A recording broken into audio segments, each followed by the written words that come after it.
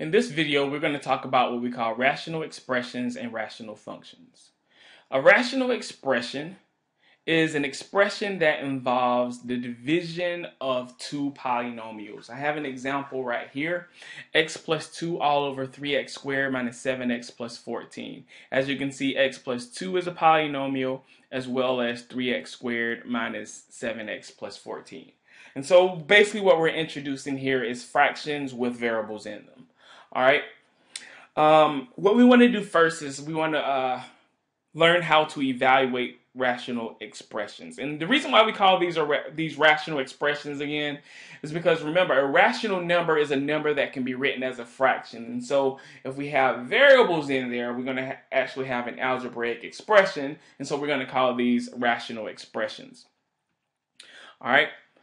Evaluating is the same as before, just like with linear uh, equations or linear expressions. We can evaluate a rational expression by substituting the value in for the variable. So if we look at this example here, I have x squared minus 3x minus 28, excuse me, all over x squared minus 15x plus 56. I want to evaluate that rational expression for x equals negative 2. All that means is that I'm going to go to that, everywhere I see an x, and I'm going to substitute negative 2 for that. Okay, so I'm going to have a negative 2 squared minus 3 times negative 2 minus 28 all over negative 2 squared again. Notice that I'm putting that negative 2 in parentheses so I don't get confused with subtraction. Okay? And the rest is just simplifying. So substitute the value and simplify. Remember your, your rules for your signs and order of operations and all of that.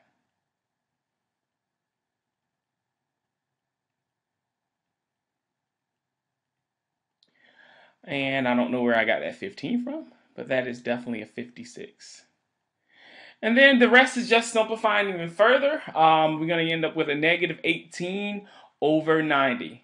As always, and every time in this class when I ask you something, I always want you to leave your answer in simplest form.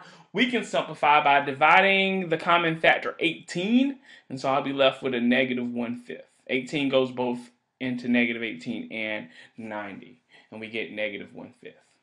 Okay, so that's evaluating uh, rational expressions. All right. There's a, a unique property that's introduced. Uh, I guess I can't. I wouldn't necessarily say property, but something unique happens when we introduce variables into a fraction. Um, there's always one thing that I was always told growing up when we were dealing with math is that we can never divide by zero. All right, when we divide by zero, we get something that is undefined. And so with these rational expressions, there are certain x values that if, hey, if I try to evaluate it, I'm going to get zero in the denominator, and it's going to mean that this rational expression is going to be undefined. And that can't happen. We don't want that to ever happen. And so I'm going to ask you, all right, determine or find the values for which each expression is undefined when I'm talking about these rational expressions. When I say that, I'll ask you to go through these steps right here. Set the denominator equal to zero and then solve for x. Because those x values that make the denominator zero is going to cause that rational expression to be undefined. Okay? And so we're going to look at a couple examples where we actually find those x values. Let's look at this first example here um, 3 over 2x minus 7. All right, I want to know where it's undefined. This rational expression is undefined. Key thing here is to worry only about the denominator. The numerator has nothing to do with anything being undefined.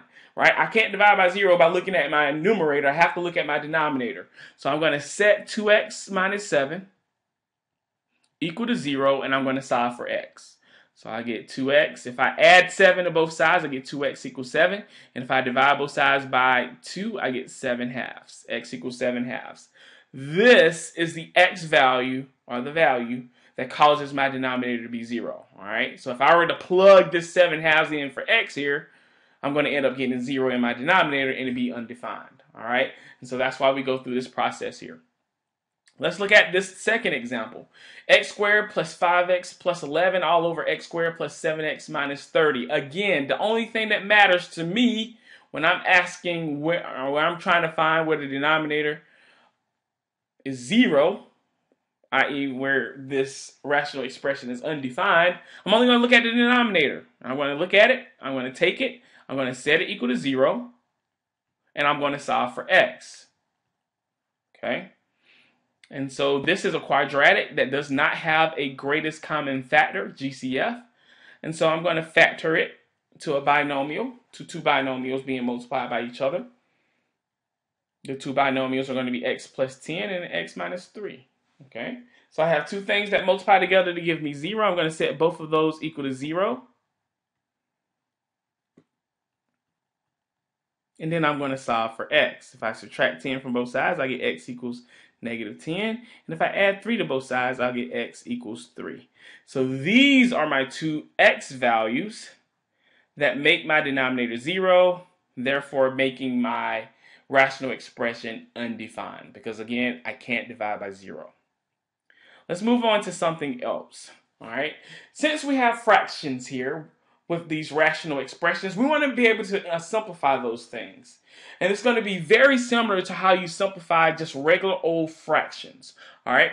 But what I'm going to do is I'm going to take it back to when you first learn how to simplify fractions. For instance, I have this fraction 12 over 15 here. Now, when we, when I first teach people how to simplify fraction, fractions, we go through a process called prime factorization, which means to rewrite my numerator, which is 12, and my denominator in this example, which is 15, rewriting those as a product of prime numbers. For instance, 12 is the same thing as 2 times 2 times 3, right? 4 times 3, right, is 12. And 15 is the same thing as 3 times 5, okay? And so I've rewritten 12 as prime numbers. Remember 2, 3, 5, 7, 11. Those are our prime numbers as a product of prime numbers. And once I do this, I can cancel the common factors. 3 is in common in both my numerator and my denominator. And so if I want to know how this fraction simplifies, well, all I have to do is 2 times 2, which is 4, and 5 in the denominator. Okay? So this is the real process that we go through. You know, as we learn more and more math, we get a little fancy and say, oh, well, we look at 12 and 15 and we automatically know that their greatest common factor is 3. And so we can divide the 12 by 3 and get this 4 here. We can divide the 5 by 3 and get uh, the 15 by 3 and we get the 5, right? But this is the real mathematics behind why all this stuff works. Prime factorization. All right. And so I'm going to do the exact same thing when I have these rational expressions. Remember, when we have these expressions here, they're going to have variables in them. All right. And so we can't go through a prime factorization exactly like we would with with numbers, but we can factor. You know, just find just factor the numerator and the denominator, and then we'll cancel those common factors. So those are the two steps that I'm going to take to simplify rational expressions. Again, if you want to write it down, we're going to factor the numerator and the denominator, and then we're going to cancel the common factors. All right, let's look at a couple of examples. In part A, I have x squared minus x minus 30 all over x squared plus 8x plus 15. I want to simplify. Those are my only instructions. All right. And that's something that I'm going to do all the time. All right. well, I'm going to go to my numerator. All right, there's no GCF in this quadratic, three terms, one in front of the x squared. So it's a nice and easy one to factor. Two numbers that multiply to give you a negative 30 add up to a negative 1, negative 6, and positive 5. Go to the denominator. Let's factor that. All right, again, it's very similar. Two numbers that multiply to give you 15 add up to 8. Excuse the inking here. Um, 5 and positive 3, they work. All right. Now that we've factored completely, see if there's any factors that are in common on the numerator and the denominator. Well, the x plus 5 is in common and the x plus 3 is in common. All right. Make sure you are aware that when we when we simplify, just like in this case up here, there's only multiplication between all of these factors. That's why we use factor, right? It's multiplication. Right? I can never immediately say, "Oh, this cancel these x squareds here. No, I can't do that because there's an addition and subtraction between those. So don't let that be a mistake that you end up making. All right, let's go to our next example. x squared minus 15x plus 56 all over 64 minus x squared. Again, in order for us to simplify this, we need to factor so that we can see that multiplication. We can't just cancel those x squareds. All right, so these are some nice one to fact, nice ones to factor. They're not always going to be this simple, but you already know how to factor. So I just want to go through a couple of examples. Two numbers that multiply to give me 56 add up to negative 15. Well, minus 8, minus 7. Those two will work. And in my denominator, there's no GCF. I have two terms. I see a square, so I have a difference of squares. We got to be careful here. The numbers first and our variable second. So when we factor into our difference of squares, we're going to have an 8 minus x times an 8 plus x. All right. Make sure the 8 is first and the x is second because that's going to make a difference, especially in the subtraction here. Now, if you look at this example, it looks like we can kind of cancel this term with this term, but they're not exactly the same, right? If you think about it, let's, for instance, I'm just going to, I'm just pulling this out of the blue. 3 minus 2 is not exactly the same as 2 minus 3, all right? 3 minus 2 is 1, and 2 minus 3 is negative 1, all right? When we have things like this, we call them opposites. They only differ by the negative sign. All right, they're opposites. They're the same number in absolute value, but one's positive, one's negative. And so when we simplify these, Oh, let's just let's just, let's just look at it. Right, I'm going to take this x minus eight. Okay, and I'm going to multiply it by negative one. Right. Since these are opposites, I should end up with this 8 minus x. Let's see if that happens. Well, if I multiply that by negative 1, distribute the, eh, the negative. I get negative x plus 8. Now, I always talk about the order mattering here, right? But if you think about it, as long as your signs are the same, you can switch the order, right? As long as you keep the sign the same. So since this 8 is positive, if I, want to write that first, I'm going to have to write 8. This negative x is, this x is negative. If I want to write it second, I have to write it as minus x. And notice we get this thing that we have here. All right. So they differ only by negative. If you multiply one by negative, you get the other.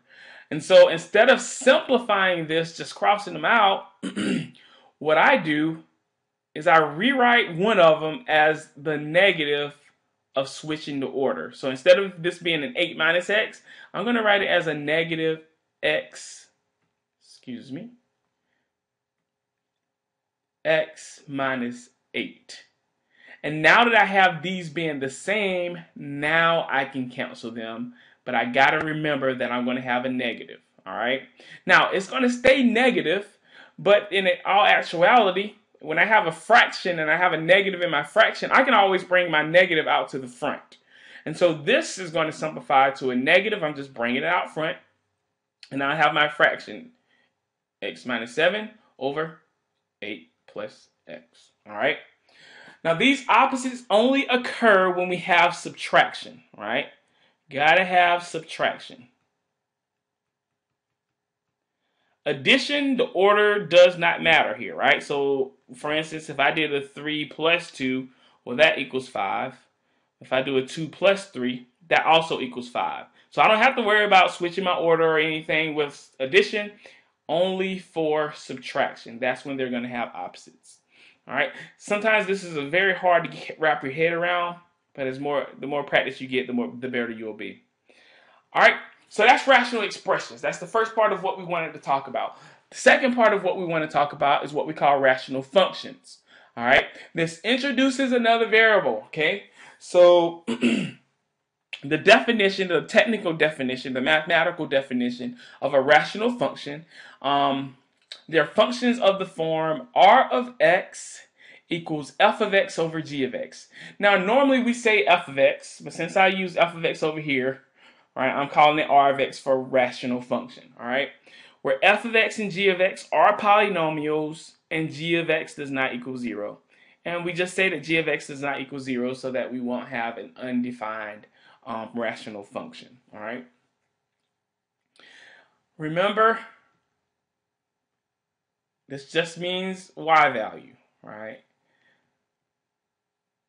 When we have a function, just to, to, just to review, I know we reviewed this before, but a function is a relation. You can think of a set of ordered pairs or a mathematical statement, um, equation, um, where each input, where each or each, where each input has exactly one output. And this is a very, very important thing in mathematics, right? Because if we put something into something that we're, you know, if we put something in a problem, we want just one solution to come out, right? And so we always like to study these things called functions so that we can ensure that we're going to have exactly one output, okay? And so it introduces our y value, which is also our output here. So x is our input, y is our output, and that's why we study these things. All right, this is different from an expression. I'm going to scroll back up to where we first started looking at rational expressions. All right, rational expressions are just just a plain old expression. Right, just a plain plain old algebraic looking thing. Right, with variables and numbers and and arithmetic, uh, arithmetic op operations. Right, when we introduce an output, okay, that's when it becomes a function, and especially it becomes a function when we know that each input has exactly one output. All right, so what we're going to do is work with these things in the same way that we were working with rational expressions. All right, some of the same things we can do with rational expressions, we can do with rational functions, rational functions, because rational functions basically come from rational expressions. I know it's a little weird, but yeah, they basically come from each other. All right. For instance, in this example, we have this rational function. It says to find r of 1. Notice this 1 is in the same place where the x was in my functional statement. And so this just means to evaluate at x equals 1. All right, this is just function notation for the word evaluate. And so if we do that, r of 1 is going to equal, well, hey, I'm going to put the 1 in for x. And then simplify. Okay, I get 1 plus 8 minus 20 all over 2 minus 3 minus 15.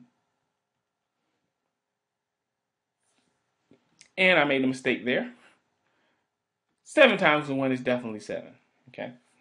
All right, and so if I simplify that, I get a negative 12 over a negative 16. A negative divided by negative is positive. And just like we would simplify before, if I look at 12 and 16, they have a common factor of 4. So I'm going to end up with 3 fourths. So R of 1 equals 3 fourths. This is the functional notation for evaluate, all right?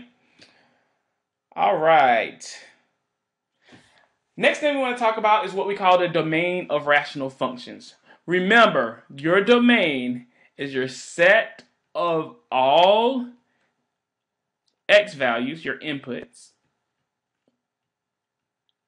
where the function is defined. All right, and so this is going to be pretty important. All right, where your function is defined. Now, I told you that rational functions, they kind of come from those rational expressions. And we've talked about rational expressions. Um, we've talked about how there are some x values that make those rational expressions undefined. Well, the domain is where the rational function you can think of rational expression is defined, all right? So since we already know a little bit about where the rational function is undefined, we're going to use that same kind of technique to help us find a domain, all right? In some cases, and actually in most cases, it's easier to find where a function is undefined rather than finding where a function is defined, right? Um, most functions have a domain of all real numbers, negative infinity to positive infinity. It's only at certain x values where certain functions are undefined. And so when we find a domain of rational functions, right, we're going to look for where it's undefined, and it's going to be all real numbers except that those x values that make it undefined, right? So just like we would do when we had the rational expressions, we're going to set the denominator equal to 0. We're going to solve for x. But once we're finished solving for x, our domain is going to be all real numbers except, except those x values that we have found in the second step there. So we got two examples of that. All right, r of x equals x squared minus 3x minus 21 all over 2x squared plus 9x minus 5. Again, domain only references the denominator, right? That's where stuff becomes undefined when we divide by 0. So I'm going to take that denominator, 2x squared plus 9x minus 5, set it equal to 0, and I'm going to solve for x. All right, this is a quadratic equation. There's no GCF. There's a 1 in front, a 2 in front of that x squared. So I'm going to do my, end up factoring by grouping. Multiply the 2 and the negative 5, we get negative 10. Find two numbers that multiply to give you negative 10. Add up to a positive 9. 10 and negative 1 definitely work. So I'm going to rewrite that 9x as 10x minus x. And now I have four terms, and I can factor by grouping. Out of the first two terms, I can factor out a 2x. I'll be left with an x plus 5. And out of my second grouping, I can factor out a negative 1, and I'll be left with x plus 5 as well. Now, when I get to this point, of course, nice things happen, happens, right? Or nice things happen, right? They both have an x plus 5. I, uh, I factor out that, and I'll be left with a 2x in the first one. I'll be left with a minus 1, right, in my second term. I have two things that multiply together to give me 0. Let's set them both equal to 0. And let's solve for x. Subtracting 5, I get x equals negative 5. My ink is messing up on me.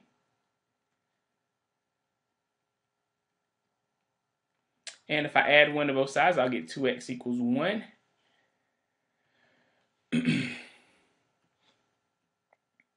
2x equals 1 and x equals 1 half. And so my domain, when I write it out, right, so I'm done there. Those are the x values where my function is undefined. So my domain is going to be all real numbers except negative 5 and a half.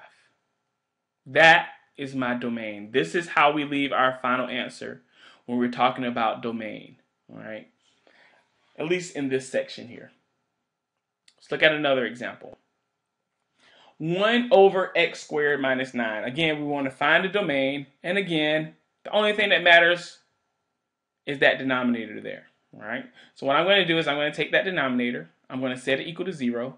And I'm going to solve for x. This is a difference of squares. I can factor that into x plus 3 times x minus 3. I have two things that multiply to give me 0. Let's set them both equal to 0. x plus 3 equals 0. x minus 3 equals 0. Right? If I subtract 3 from both sides, I'll get x equals negative 3. If I add 3 to both sides here, I get x equals positive 3. So when I write my domain, again, it's going to be all real numbers except negative 3 and 3. This concludes our lesson on rational and on the introduction to rational expressions and rational functions.